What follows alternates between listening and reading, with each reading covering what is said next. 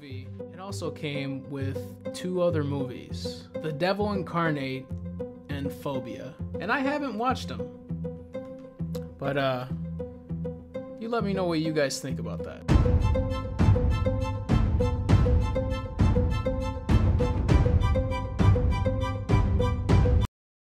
And you guys let me know that yes, you would like me to take a look at these two movies. Even if you didn't, I I probably would have done it anyways. So, and I have to say, after watching both movies, I really didn't expect this at all. I actually had to massively adjust my script at one point. You'll later find out why, but this is how I'm gonna do it. I want to present this first review in the same pattern experience that I had with the movie. From going into the movie with no information, not watching any trailers, to now watching the movie multiple times and also having all this extra research under my belt. I hope you enjoy this.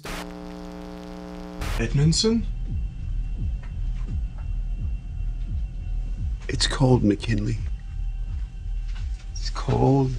It's Vikings War of Clans. This game was inspired by the famous strategy and RPG games of the 90s. And the 90s were dope. Where all my 94 babies at?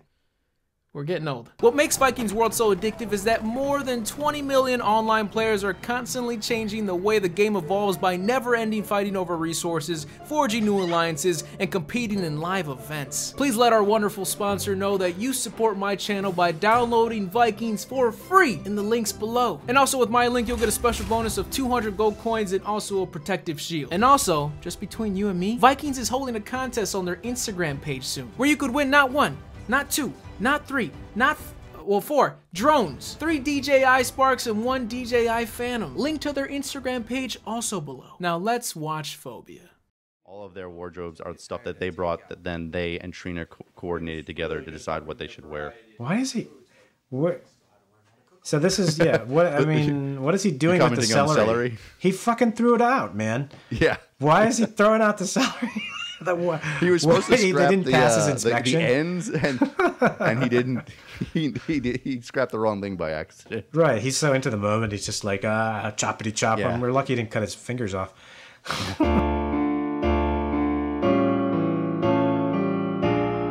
Fuck the cute intro. Oh my. F- this movie sucks. And it doesn't regular funny suck. It's just boring as all hell. Where do I start with this thing? The main menu? Cause that's a mess.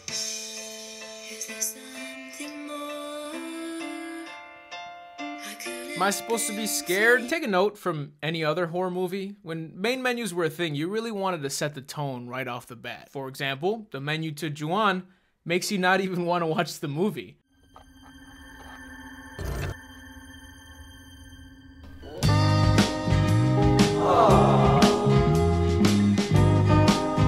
The main menu for the original Wit is simple but creepy, effective.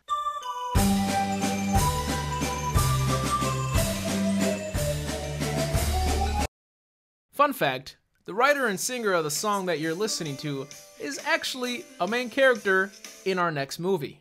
You're welcome. I'm sure you care. By the way, as soon as I saw the cover, I knew the movie was gonna have nothing to do with the cover. Let's see if they prove me wrong. So you press play, and the movie opens up with the same song from the main menu. It's even in the credits. I now love it.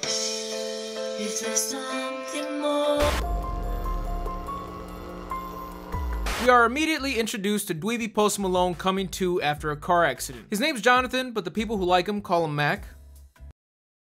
Now, Mac suffers from agoraphobia, which is the fear of places and situations that might cause panic, helplessness, or embarrassment. For Mac, his agoraphobia is directed to the outside world, so he stays locked in day after day doing the same monotonous bullshit on his computer, trying to just earn a living to pay his $5,000 in student loans that did nothing for him. Mac's an at-home stenographer who has a built-for TV therapist. PSA, if you have this type of chin, you're almost required by law to be a weatherman. That, or you're the man whore on soap operas, or Butch Hartman. So Big Chin tells him to stop being soft and start dealing with the outside. But as you can see, Mac can barely handle the sunlight from a window.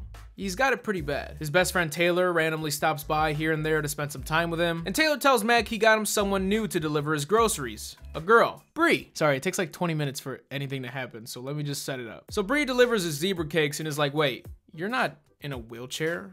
You don't look mentally disabled completely? What gives? Well, Bree, I'm scared of skies of blue and clouds of. Let's talk about Bree. Bree is a petite Rebel Wilson with Drew Barrymore's voice. You know, I'm so sorry. God, I'm such an idiot. I just. Changed my mind. On a podcast I listened to, one of the executive producers mentioned that they just lost a patch of audio after filming. Someone on the crew just fucked up and they had to bring in the actors to re record their lines.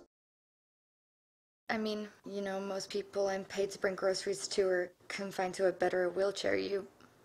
You seem completely fine. I haven't been outside in over a year. I'm agoraphobic. This whole scene is dubbed. Badly. Man, agoraphobia. I mean, that's gotta be really hard. Not really, it's just the boredom that hurts the most. I have a TV, movies, internet. All the wonders of the modern world. This movie doesn't have a lot of jump scares. It has startling parts, but they're not accompanied by an onomatopoeia on steroids. They just happen. The only jump scares are scenes like this. It's just all mirror shots. So finally, let's jump into something interesting. The Devil Incarnate is a movie. Mac hears a noise, goes downstairs, and sees some nut job in the house with a knife. The guy bum rushes him and Mac hides. And this is where we meet definitely not a replica of the woman from Insidious. Everyone dies, Jonathan. The crazy guy just gently knocks him over and drags him somehow. You got a lot of grip from that receding hairline. A lot to grab onto. Alright. Who cares? No, it looks good. It's a good shot. No. The maniac tells him this isn't real, along with other crazy shit, and Mac hits a combo breaker and shanks him. Mac calls 911, the creepy lady appears, and the body disappears. Then Mac does his best simple Jack impression from Tropic Thunder. Uh, um. Uh, I'm okay. Uh, I'm okay.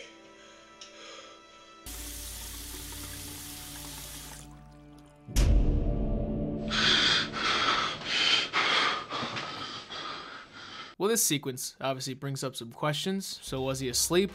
Hallucinating? It's really confusing. A lot of the times the audience sees things that he doesn't. Doesn't really match up. He even feels pain that then disappears. Bree visits again with groceries and Matt continues to be weird. I got them at the local green market. I know that they're not on your list or anything, but I just kind of figured, you know, who doesn't like all natural pretzels, right? Thank you. Wait, local? Yeah. Oh, Taylor didn't tell you? I really don't live far from here. No, he didn't mention it. What is this pedo smile you keep following up your sentences with? Bree accidentally opens up one of the blinds and shocks Mac, even though in this scene, he's fucking a-okay, directly in the sunlight. Man, this fake ass Twilight. That's when the same crazy guy from earlier bursts into the room and Bree, we need to go. We need to get out here. Bree! But everyone dies, Jonathan. Hey, are you okay? hey, are you okay? Okay, so by now you're probably starting to realize that this guy is going through some shit. Like seeing his wife walking down the street, even though she's dead. Jane? Like making out with his naked wife, even though she's dead. Jane? Still counts. There's a lot of times in this movie where I laughed where I probably wasn't supposed to in scenes like this.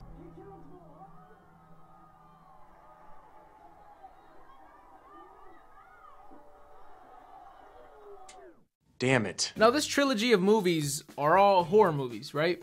But this movie doesn't really scare me. And I'm actually easily scared. I probably don't come off that way, but I am. I think it has to do with my obsessive paranoia of most things, as well as that I'm just easily startled. Jump scares will get me to jump even though I see him coming. I'm just ugh. And I think that's why I like taking shots at horror movies. It's kind of like my way of fighting back, especially bad ones, because you get to see the stupid funny side of this genre. But I digress. Now this scene here is probably the scariest in the movie, to me, because this shit is what scares me. Some creepy figure just chilling in the background. There's no jump scare cue, the movie doesn't tell you she's there. You make the discovery on your own. And also, this is important, I fucking hate the voice filter on the lady. It completely ruins any chance of her being scary. You did not need a filter. I would have preferred her real voice. That probably would have been a thousand times better. It's just so phony. It's what I would use to signify a villain in a skit.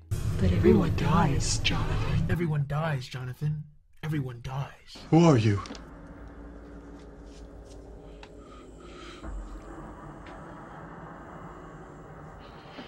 What are you doing in my home?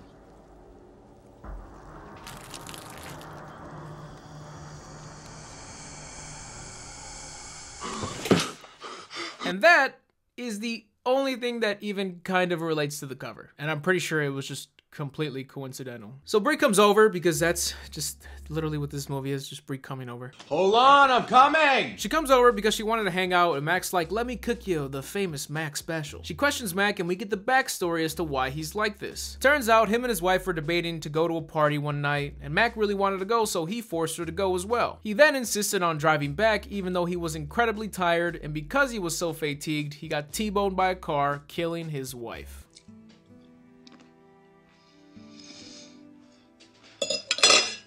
That was delicious. What did you even make? Celery tomato casserole?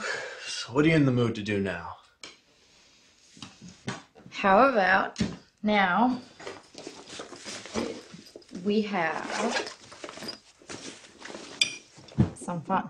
He just told you he murdered his wife after a party that most likely had alcohol. What are you gonna do next? Tear down all the curtains in the house? Now we get a nice little relationship development scene. And listen, I don't smoke. I don't know anything about smoking, but uh, this looks like some bullshit.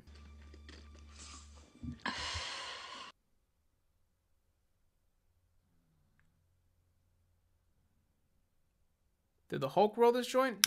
This isn't even like kickback drinking. This is like I'm going to impregnate you drinking. They're just slamming shots. And slamming shots is the number one cause of not pulling out. And oh look, surprise, surprise. No, no, no, we don't need a kind of baby, it's fine. You know why they call me Mac?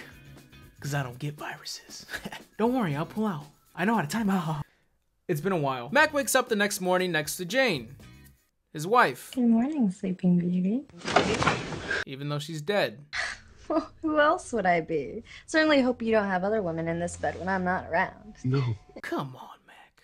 Lying to your wife is one thing. Lying to your dead wife is another.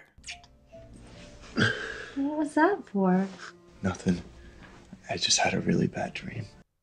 Is that what you call a really bad dream? How good is your really good dream? Well, why don't you put some clothes on and I'll go ahead and make some breakfast. Oh, I can think of some better things to do first.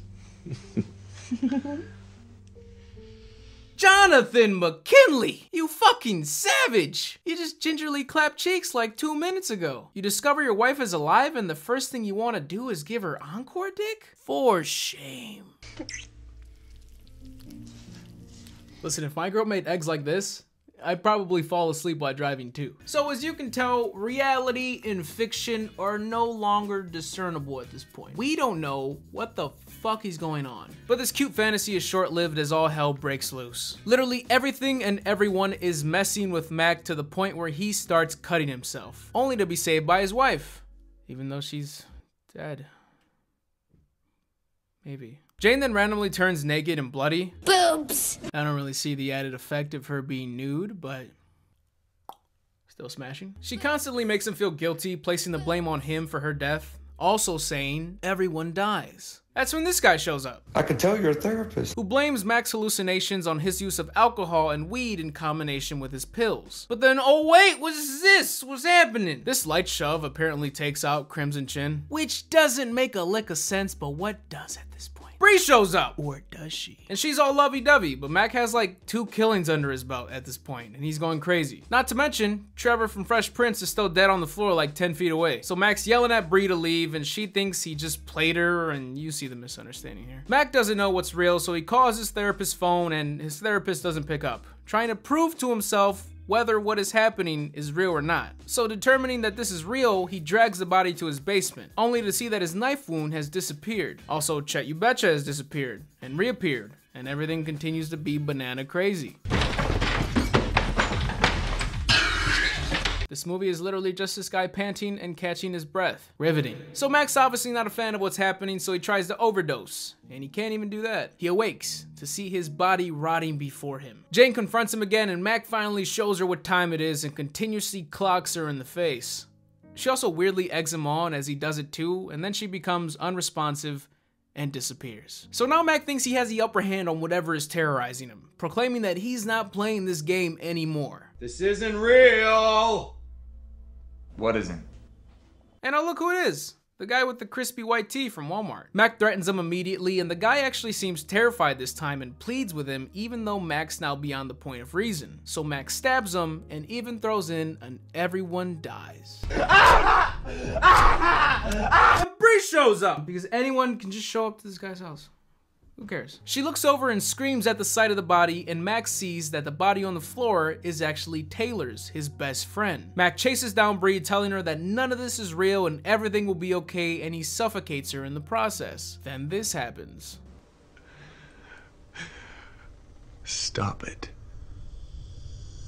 Do you hear me? This isn't real. I'm afraid it is. Everyone dies. I'm not afraid anymore.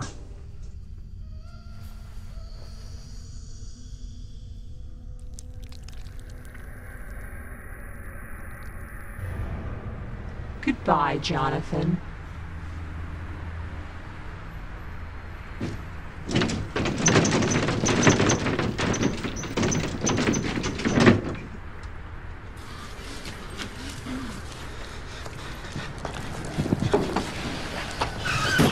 Ah, the classic run out to run over combo. You don't see that in every movie that has a road. Now Mac's gonna die. And you're probably waiting for me to be like, oh wait, but then he wakes up and it was all a dream. But uh, no, there's 50 seconds left in the movie. Enjoy. Whatever you do, don't listen. Hey man, just take it easy. That ambulance is gonna be here in two seconds. Buddy.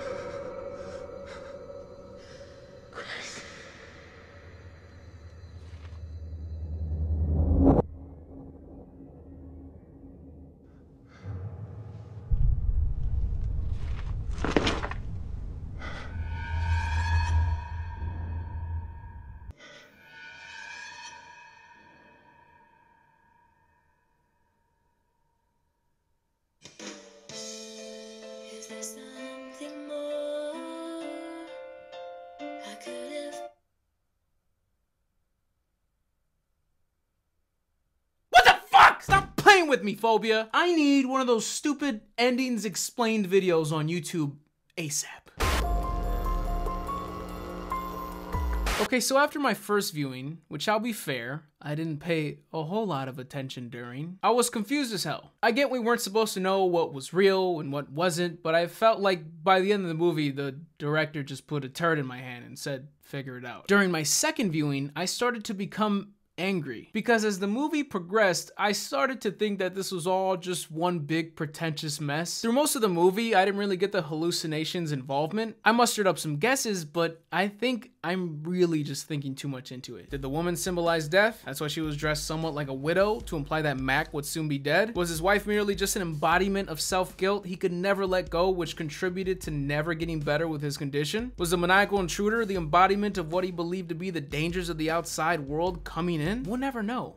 It's, those sound like pretty good fucking guesses. I'm analytical as fuck, but I don't think they really meant for any of that. So, this is what I think I got for sure. This is my perspective. Let's rewind a bit. Mac initially meets the crazy guy who is already on the edge of insanity. Like we would later see Mac. The crazy guy even word for word reiterates what Mac later says when he has him in the same position of near murder. It's okay. This isn't real. I just want this to be over. Please don't do this. Oh, that's good. You just keep trying. I don't want to die. Everyone dies! This isn't real. It's okay. I just want this to be over. Don't do this. Oh, that's good. You just keep trying. We both know it's way beyond that point. Please, Mac. I don't want to die. Everyone dies. And after being stabbed, he tells Mac to not listen. Whatever you do, don't listen. Then after dying, you can see this guy was rotting as well, and even wearing the same fucking outfit, which I think the matching outfit is just because of no budget, but we'll roll with it. So I think this is basically a heavy ass foreshadow into what will happen to Mac. And although the don't listen line didn't entirely make sense to me in every scenario, I took it as to not listen to this bitch, constantly saying, everyone dies. Because her actions secretly drive Mac into solidifying her statement. By not listening to her, he wouldn't feed into her, but he did, eventually killing the hallucination of his wife as she eggs him on, which in turn drove him to the point of murdering his best friend and newfound lover. Everyone dies. When met with the crazy guy again, his demeanor is entirely different actually scared, and now addressing Jonathan as Mac. Also, at one point, I thought the man was given a demonic voice, but actually, it was his friend Taylor's voice temporarily breaking through. I don't know what you're talking about. Just give me the knife, huh?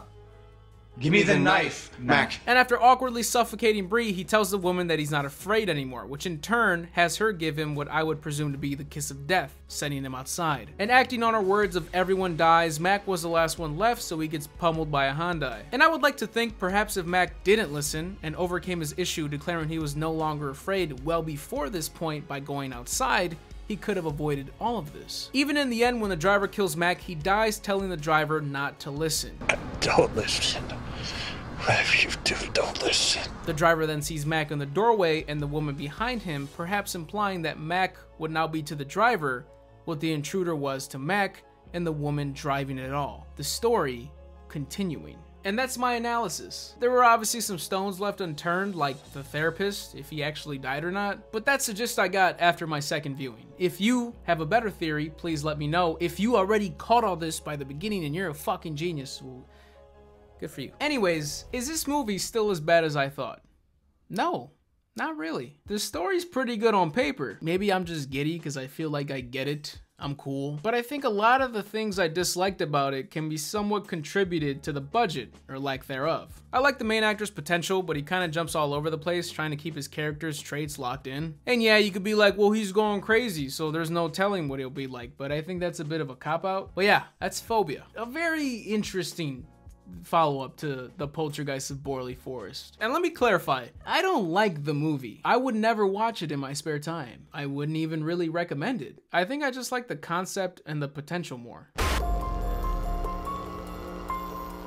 So before I was done with Phobia, I decided to listen to the director's commentary that was on the DVD. And it was rather interesting as they cleared up a few small details. The commentary being ran by director Rory and executive producer Elias. First thing I learned, apparently four weeks into shooting Phobia, is when Insidious released a screenshot slash poster of their Bride in Black character when these guys already had their character. That sucks. They even comment on the smoking scene where I said this looks like some bullshit.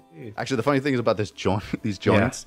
Uh, I mean, we just used regular rolling tobacco for them, but Emma could not roll a joint to No save her I'd life. Literally, what we had what had to Nudge, happen nudge. was Mike would roll the joint, hand it to her, Mm-hmm. we'd call action, and she would lick it and finish the roll, and she still managed to screw it up every time. That's why all the joints are just like misshapen, ugly things.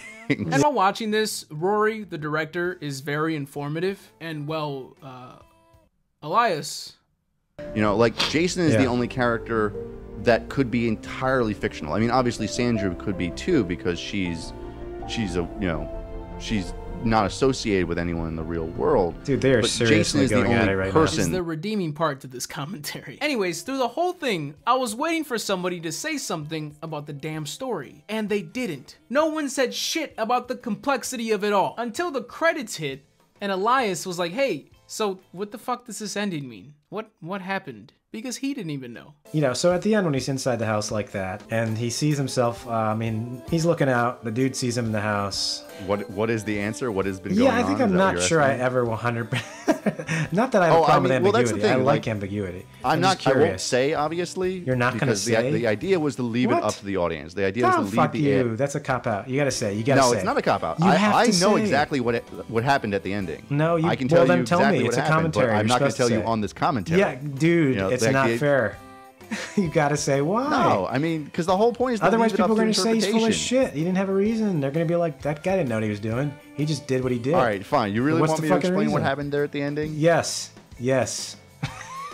Fine. I, Okay. I will now reveal the ending. But see, that ruins it because some someone No, else's interpretation might be better than what They're my just hearing your ending is. perspective. They can think whatever they want. So for me, the way it worked was that Yeah.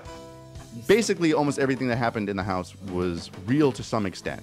He really killed the, the the home invader. He really killed his therapist. He really killed Andrew. Mm-hmm. What happened was the home invader was infected with the woman in black. She is a malevolent spirit that jumps from person to person to person Oh, and Jason. slowly drives them insane. And when they die, whoever comes in contact with them Okay. when they die, she jumps to that person and then begins haunting them. Ah. No. That's it? It's just a ghost? That's your answer? That accounts for everything in the fucking movie? It's just a ghost? My version of the movie is way fucking cooler. Final fun fact, and the only thing that keeps me somewhat optimistic with this movie, there were two writers for the script. The original writer and then the director. And the original writer lived somewhere in New Zealand and he had little to no communication with the director. He just gave Rory the script and then Rory put some sauce on it. So I like to think that not even Rory knew what the fuck the original writer was trying to get at. So to the original writer, if you ever come across this video, I get it. I get what you were going for,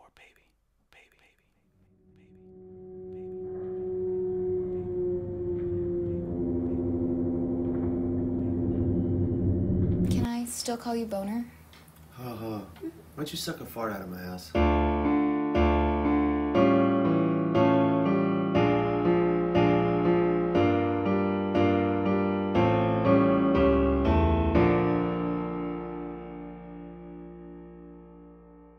The Devil Incarnate. The movie was originally titled Copiii, the first entry, and then they realized that title sucked. Later changed to The Devil Incarnate, and also it's I think it's called Cursed in the UK. Now this movie visually looks a lot better than the last one, but is it actually better? Let's watch it. To introduce the story, they go for the Shrek narration approach, highly effective. There once was a woman named Alina Patrifor who was raped and left to die. So basically, if you pay attention to this, they say that some lady went through a horrible experience, so she grabbed some like witch's amulet and she wished harm upon those who harmed her. So the devil listened and harmed those people, but he said, only if you give me your baby. So lady was like, all right, bet, you can have my baby. But then she lied and she didn't give him the baby. Even though he's a devil and he's probably fully capable of just fucking killing anything. Not the point. She hid the baby and then when the baby grew up, he inherited the amulet and he wanted to start his own family, but he couldn't do it. So he hit up the devil and he was like, hey, please lift this curse. And the devil was like, all right, you'll be able to have your own child, but only if you kill another random baby. So that's what he did and they kept that up for generations and... Like that's ever gonna happen. What a load This movie is shot found footage style because that makes it spooky. Meet Trevor and Holly. They're driving through beautiful Florida, I think. Is Florida, right? Fine boner, but I want to go to every kooky touristy spot on the way then. Wait, did you just call me boner? Where'd you hear that? I've been talking to your sister. Oh, Jesus. They're driving through beautiful Florida on their honeymoon, and Trevor can't wait to document it all. I love you. Rusty, just breaking the rules now, or is this his drone? That's probably his drone. He's probably flying. Yeah, he's probably flying the drone. Sir, right? Is this found footage or? Sir? So this is a mixed bag we're dealing with in this movie. Found footage and just just footage. And in my expert film criticism opinion, it does not work. I would have preferred no found footage at all. The couple go see a medium, that sucks, and then I mean, I wanted a tarot reading. That wasn't exactly a reading. I don't know what that was. Let's go. You want to know your future? is that a black guy in blackface? That's still racist, right? No? The homeless guy tells Holly to follow her spirit, the wind, the trees, to find out about her future. And Holly buys into it and gives the guy a dollar for his troubles. You go enjoy yourself some hubba bubba. I'm glad to know my main character trusts crazy homeless men with knives. I'm looking forward to the rest of her bright decisions later in the movie. So Holly drives around following her spirit and her car breaks down in front of what appears to be another medium's house. This must be the place.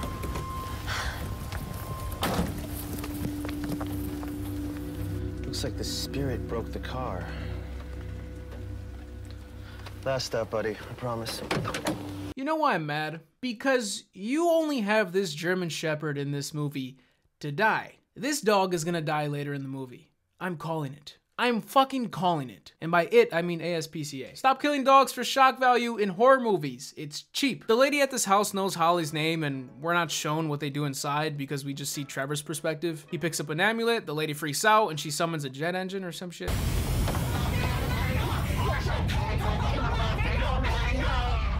Okay, seriously? What the fuck went on in there? Did I miss the part where you guys called a mechanic? I thought your car broke down. So how are you driving it right now, getting away? Is Rusty good with a wrench? That how he got his name. The couple was shook and they crashed at a motel.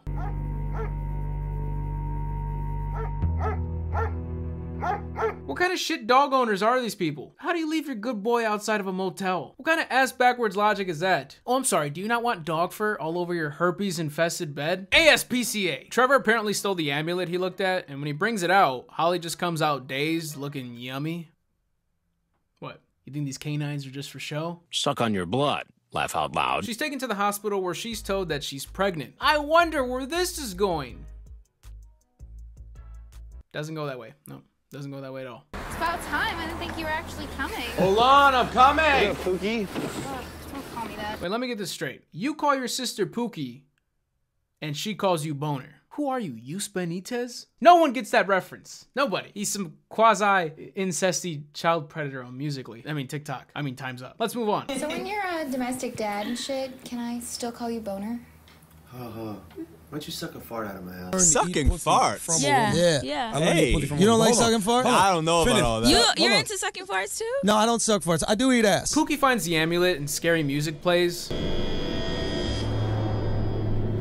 Nothing really happens, but you gotta be like, oh shit, something might happen. Trevor and Holly are boning in broad daylight with the door open. Why don't you suck a fart out of my and ass? Pookie records them, which we later find out is because she's actually crushing on Holly. Earlier, she even hardcore creeped and recorded her exercising, which I get it. You want to slap her salami, but like, she's fucking your brother? That's like secondhand incest. Anyways, while she's recording, Holly turns around and looks directly at the camera and keeps going and going and going, which is kind of high, weird. Pookie has a friend who I would have replaced with, with another dog. She randomly FaceTimes her during the movie, and I just hate these scenes.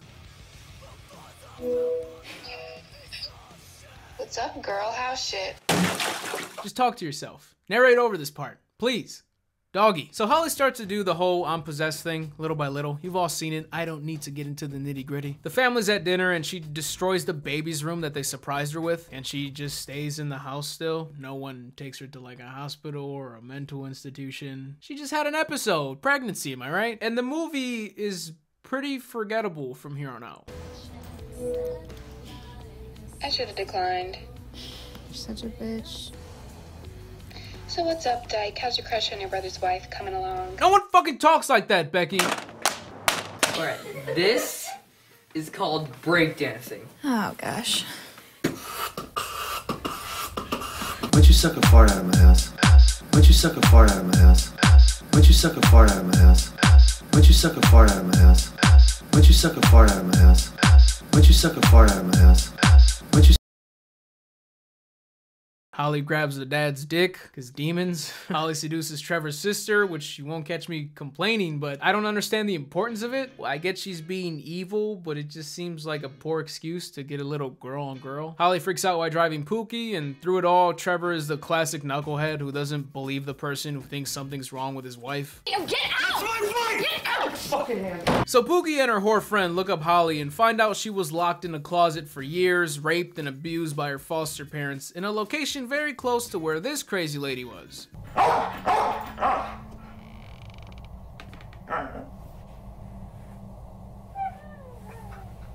I knew it! When has a dog ever made it out of a horror movie? It's a cheap trick for an extra body. Fuck off. You leave my precious babies alone.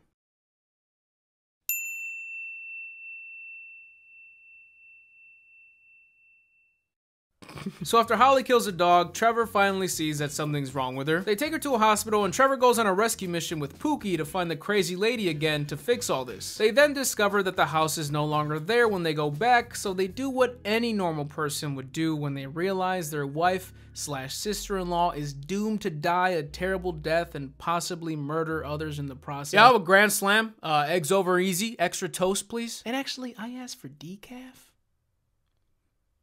Can you fix that?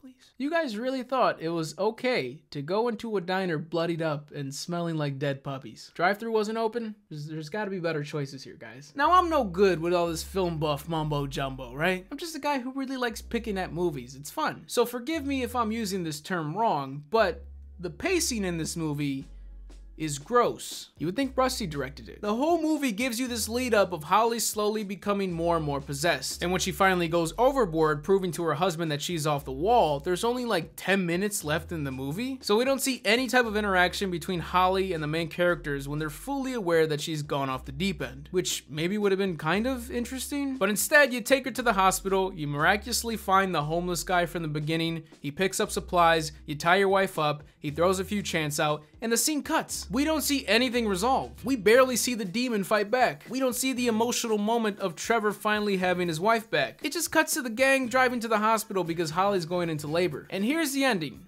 Spoiler alert. Great, we're great. Push, Push, baby, push. push. Push. Come on, baby.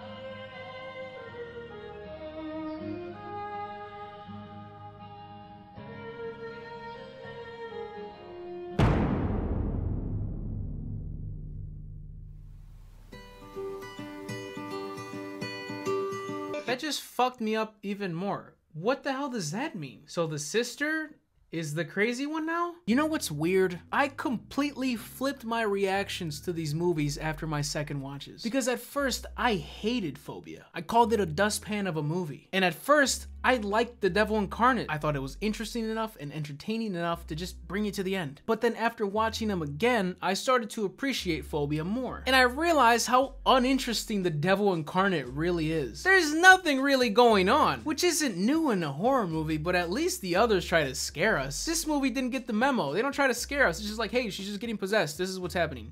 That's it. And the story doesn't even really make sense. I don't get it. And I paid attention to this one, I swear. I even listened to all the crap in the beginning. You can like vaguely be like, yeah, okay, I guess she's doing that because of that, but like all these random fucking reasons don't really tie in together. The movie's answer was just demons. Why'd the guy's wife kissed his sister? Demons! Why'd the homeless guy set him up and then helped them afterwards? Demons! Where I do give the movie credit is that it was shot in 13 days and made in a total of like three and a half months on a micro budget. And I may just be naive, but that's pretty impressive for what we get. And also kind of explains why like nothing's fleshed out. And I kind of wish, just like the last movie, someone would have actually explained everything for me, just dumbed it down for me, I guess, because it's too fucking smart for me. But all I got after listening to countless interviews was an answer as to why the exorcism scene just cuts and why it's so short. I had two moments where I know that everyone saw me freak out. I remember it was actually everything was smooth sailing until literally the last day. I knocked over a candle. But and, like, before now- before you start this, we were like on the eleventh hour, and we started shooting at seven p.m. It was like five in the morning. It had been candles that had been knocked over, and so there were several announcements made to be careful with the candle. And they're getting ready to set up the shot. He grabs one of these like flags because he's like, "Yo, what I'm gonna try to do is blow the candles out with the flag, you know, on this one." And then I accidentally kicked the candle over, and I was like, "Fuck!" And then like I looked over him, and he just threw the flag down on the ground, and he walked out the door. He goes, "Everyone, take five. I literally walked outside, and my my uh, my line producer's walking up from getting everyone McDonald's. Hey man, do you want an egg McSandwich? I was like, wait, I can't fit, finish the fucking movie. I was like yelling at him, and he's like, he's like, what's wrong? And I was like, I just can't finish this scene. They're knocking over candles. I can't fucking do it. I said, get Ryan Dean out here now. I need Ryan Dean. He looks at me, and I was like, dude, I can't finish this film. You got to help me. My brain's mushed right now. And he's like, he's like, dude, let's just get a shot of her eyes get her screaming, and we're out. Bam boom beers. I was like, okay, that's what we're gonna do. And I get in there. I'm not gonna call this person out, but I had somebody like come up and she's like, she's like, well, what about the chicken? We gotta kill the chicken. And I, I was like, get out of the room. I want you to leave the room now, please.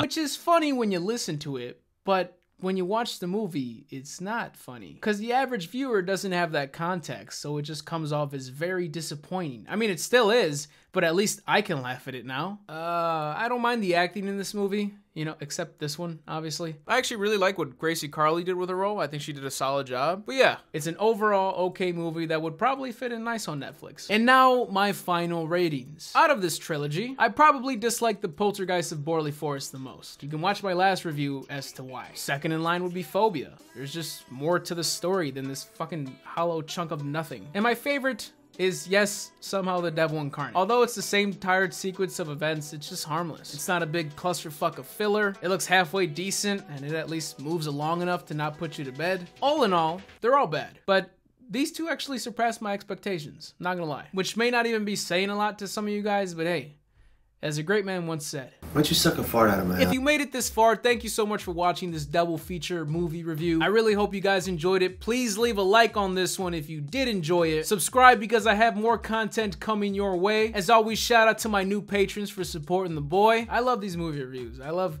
I love the balance of having these movie reviews along with everything else. Follow my Twitter if you don't suck, and also uh, subscribe to the second channel if you like extras and gaming and shit like that. Fortnite specifically. And also another big thank you to our sponsor, Vikings War of Clans. Don't forget about those links down below. And as always, I am Mista GG, and I am out. And one more time, guys, before we go, sing it with me. Is there something more I could have been to you? Oh, for you. Fuck. Why don't you suck a fart out of my ass? Why don't you suck a fart out of my ass? Why don't you suck a fart out of my ass? Why don't you suck a fart out of my ass? Yeah, I eat that but like grocery. Yeah, I eat that but not gross to me. It's gross to you, cause you got the truth. Do doo doo, cause she got the flu. Like, ew, ew.